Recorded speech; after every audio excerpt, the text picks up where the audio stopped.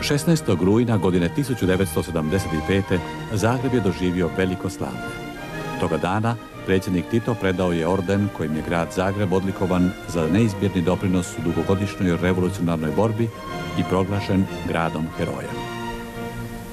Zagreb, grad heroj, skupo je plaćao slobodu i podnio velike žrtve.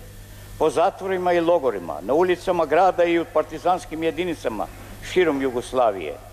Ginuli su njegovi najbolji sinovi, više od 50.000 građana Zagreba, što je predstavljalo više od jedne četvrtine njenog stanovništva. Učestvovalo je u Narodnoj slobodilačkom pokretu.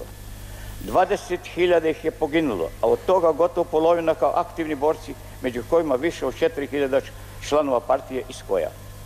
Orden narodu heroja, kojega predajem Zagrebu, simbolizira priznanje svim učesnicima revolucionarnih zbivanja, svim koji su doprinijeli našoj pobedi u izgledni socijalizma, a posebno onima koji su u toj borbi hrabro i nesebično dali svoje živote.